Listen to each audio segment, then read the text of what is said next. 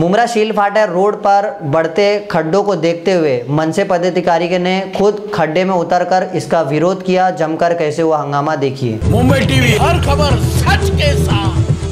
मैं हूँ अफजल शेख और आप देख रहे हैं मुंबई टीवी। शीलपाटा रोड पर काफ़ी जो है, खड्डे नज़र आते हैं रोड के बीचों बीच और ऐसे में खड्डों को देखते हुए गाड़ियों के हादसे भी काफ़ी बार हो जाते हैं। और इसी को देखते हुए इरफान सैयद, जो कि मनसे के कार्यकर्ता है, उन्होंने खुद जो है इसका विरोध और हंगामा किया। उन्होंने खुद खड्डे में उतर कर किस तरीके से जमकर हंगामा किया और साथ ही साथ इस हंगामे को देखकर ट्रैफ़िक भी जाम हो गई। जिस ट्रैफ़िक को जाम को देखते हुए वहाँ पर डाइगर पुलिस स्टेशन की टीम आई, उन्होंने इरफान सैयद को समझाया और ये भी कहा कि शाम तक जो है खड्डा भरने का काम या चैम्बर लगाने का काम हम कर देंगे।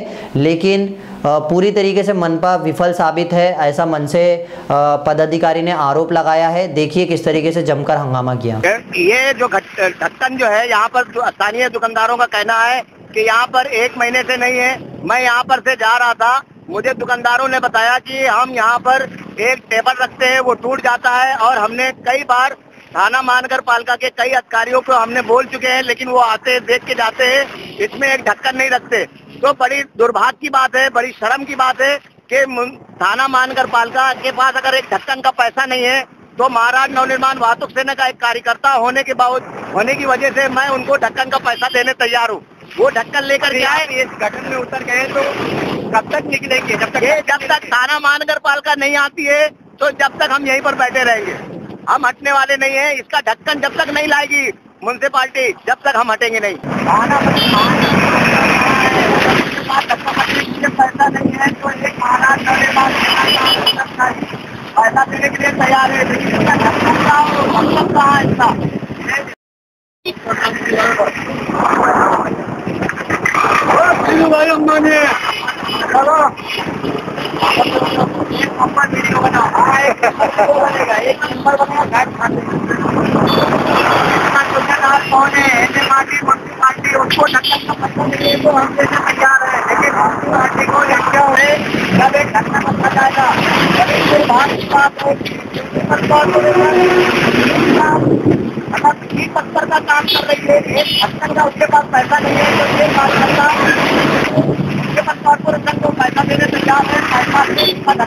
ऐसी तमाम अपडेट से जुड़े रहने के लिए सब्सक्राइब करें मुंबई टीवी। मैं अफजल शेख फिर हाजिर हूँ एक नई न्यूज़ के साथ।